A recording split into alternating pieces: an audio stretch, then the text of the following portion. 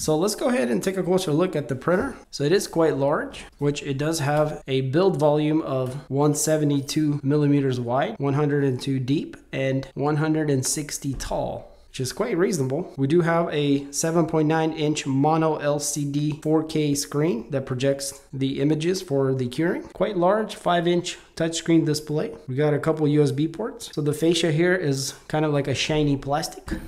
And then the rest of the body is like a matte plastic. This piece here is metal, and that's where the screen mounts and probably everything else. To this side, we have some venting, also the same on the other side. Looking at the back, we got more venting, the manufacturing sticker, input power port. It is fused with an on and off switch. And this is where we're gonna plug in our cord. And if you guys notice over here, we have a carbon filter with a fan that helps eliminate the smells. And look how thick this channel is here, guys. And this is an aluminum C channel. And if we go back here to the front, you guys can see we got those linear bearings with the rails and an interesting looking lead screw that's more fine and precise looks like. But yeah, if you've seen a resin printer before, this is not going to be anything too unusual. And honestly, I really do like, and by the way, we do have a little QR code on top, how this cover looks on this printer. Quite different than what we're used to, which is more like yellowy, orange, red, but now we have blue from Creality. So let's go ahead and power it on. And it does take a little while here to boot up. Oh, look at that little logo there. It's a little Creality guy. And looks like we got some kind of welcome screen. Let's go ahead and see what kind of welcome it is. So here we can change our language and then our area, which says international. So if you click on it, you can select the language you want. You guys might not see this so well. And then the area. Okay, so it's either international or Chinese. So yeah, basically we'll leave it the way it is and click next.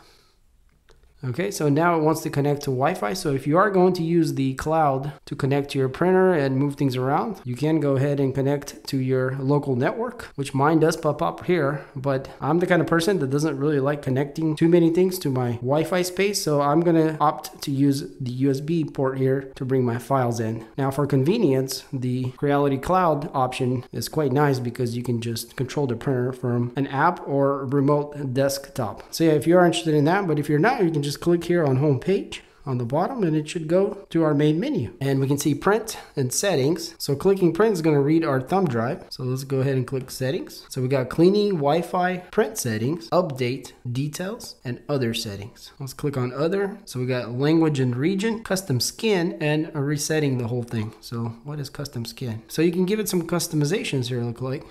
So I do like the way it looks but let's see if we can try to install something different here so it is restarting again. All right, well, I don't really see any difference. So this must have something to do with who knows what that I don't really know, but it's on colorful now. So in any case, we'll leave that the way it is.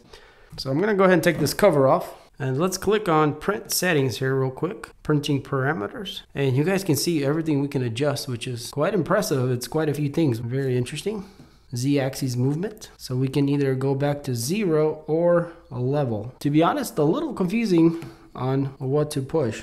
Okay, so yeah, it's just going up right now, which is actually what I wanted it to do. We'll just stop it right there. So the reason I wanted to bring it up, take the blade off, is if we go back here to the main menu, if you click on cleaning, we'll push OK, and that's gonna wide open our screen there and the UV lights are gonna all shine through. So this is good for if you wanna solidify whatever's left in the bed so you can peel it off. A lot of times it's not the best thing to use unless you just, you know, don't need the resin anymore and you wanna solidify whatever's left in there. Because if you have too thin of a layer, you can get stuck pretty bad and then you can't peel it off that easy. So I guess we have to click it to stop it. Okay, so here we have our Wi-Fi setup. So if you wanna connect to Wi-Fi, you can do it from here.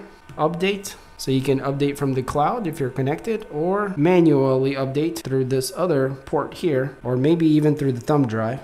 Then we got details, binding Creality Cloud. So here we have a QR code that you can scan in the app so we can automatically connect to this printer, which is really nice and easy to set up. And under other information is all about this printer.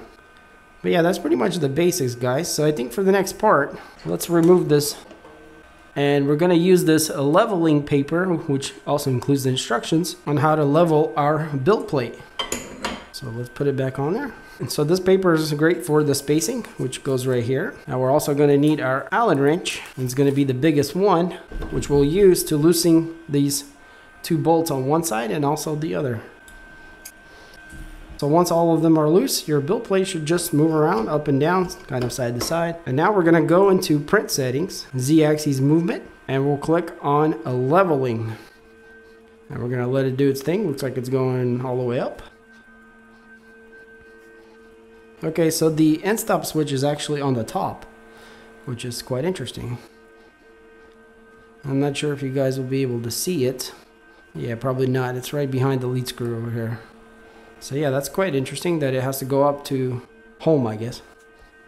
And now it's gonna come down basically to the starting mark. Now make sure your bed is loose obviously before you do this because as you can see it does compress kind of in there. And so now all we gotta do is just with the paper being underneath so we have set the gap we can just tighten all these little bolts on the side back up. Now I like to put my hand kind of on the plate on both sides while tightening to make sure it's nice and flat. Not too easy on this one because it's quite large.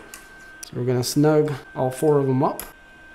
And that basically sets the level on the build plate. This paper, yeah, it does come out quite easy. And you should have a really nice even gap all around the plate. Now, if you think you are not level yet, go ahead and redo this part and kind of, you know, gauge your corners all around, make sure they feel about the same. Now, if they're slightly some difference, that's okay, as long as they're pretty close. Now let's see if we can figure out how to go back up. So if we say back to zero, is that gonna go up? Okay, yeah, so it is gonna go up. So back to zero actually takes it all the way up to the top, which is fine because we're gonna install our tub back in here